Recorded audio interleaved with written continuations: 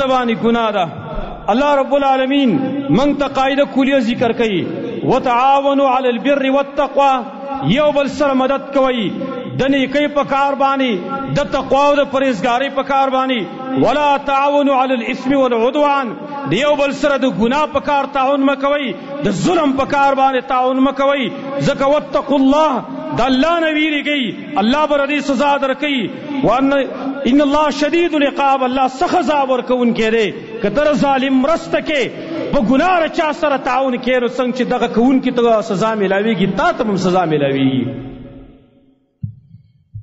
بلکې د ظالم سره مرست کول خو څه کې دا سره تعلق ساتلم ګناه ده د ظالم سره تعلق ساتل ام ګناه ده د ګناګار سره تعلق ساتل ام ګناه ده اللہ سوئی ولا تركنوا الى الذين ظلموا فتمسكم النار. تا ما مایل کیږي هغه کسانو ته چې ظلم یې کړي ور ورته ورسي الله سوي ممایل کیږي خلکو ته چې ظلم یې کړي دي ظالمان دي فتمسكم النار. ور ورته ورسيږي وما لكم من دون الله من اولیاء د الله نه ما سوا څوک مدد مستاسو نشي کولای ثم لا تنصرون بیا به تاسو سره مدد نکېږي موسی علیہ الصلوۃ والسلام موسی علیہ الصلوۃ والسلام ادا فرمایي کله چې هغه یو قبطی وجلو او دا د اسرایلی سره تعاون کړو او الله ته مغفرت نصیب کو دا شاغت گناہ کار کېدل حقیقت کی گناہ نه و نو داغي مبارک روس هغه سویل. رب بما انعمت علی فلن اكون ظهيرا للمجرمين اے رب په دې وجه چې جی تا په ما باندې انعام کړی دی زب چرتم د مجرمانو د پاره مددگار جوړ نشم. زب د مجرم سره چرته مدد هغه ونکم زمرونو د ظالم لا مرستا در کنار د ظالم د خبر تایید کول.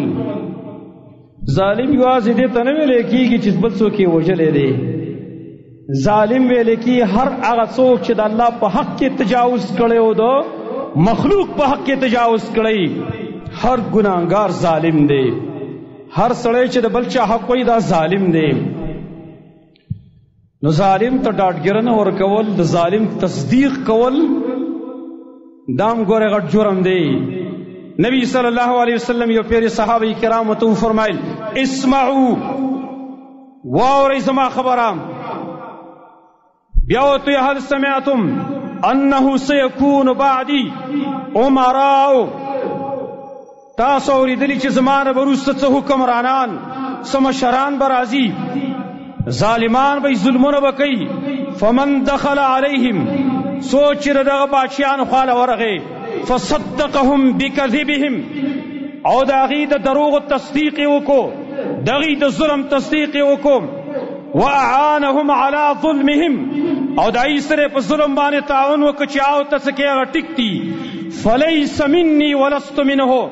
نبی وای زمانه دا کس نه زم د دنایم چې لر باچیان خاله ورزي د باچیان په ظلم هغه ته ډاټ ګرنه ور کوي دای تصدیق کوي دای سره تعاون کوي فلیس مني ولست منهم دا زمانم نه زره دنه نه یم وليس بوارد علي الحوض. حوض کوثر کی به زما خواله مرانی شي وي ومن لم يدخل عليهم او څوک چې دغه بادشاہان او ظالمانو خواله ورنرغي ولم يعنهم على ظلمهم. دای سره په ظلم تعاون ونکو، ولم يصدقهم بكذبهم داغي د دروغ تصدیق ونکو، فهو مني وانا منه. دا سړی زمانه دې زردنه یما او هو هو وارد علی الحوض.